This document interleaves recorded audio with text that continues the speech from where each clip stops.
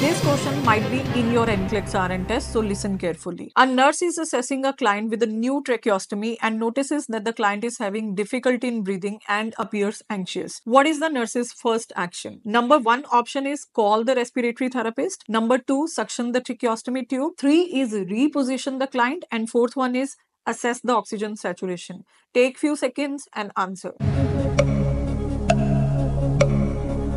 Yes, you are absolutely correct. The nurse should suction the tracheostomy tube. See, a registered nurse has suctioning of tracheostomy tube or trachea well under its scope of practice. Whenever you are finding your patient anxious because he's not able to breathe, it might be due to the secretions built up into the tracheostomy tube. Now, in this case, repositioning the client or assessing the oxygen saturation are equally important. But first of all, you have to check the tracheostomy tube and suction the secretions, if any, because repositioning will not clear the suctions. It's the tracheostomy only which will clear the suctions and make your patient comfortable. Thank you so much and keep on following Navkiran. Take care.